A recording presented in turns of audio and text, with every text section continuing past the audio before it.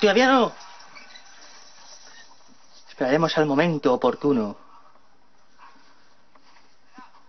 Y cuando, cuando que convenga aquí mismo, como decía, ¿puedo hacerte una pregunta? ¿Que hay algún motivo para desconfiar de mí, eh? Un favor, sé que cuesta para aquí, pero quédate aquí y no hagas ninguna de las tonterías que haces. O sea, no hagas tonterías.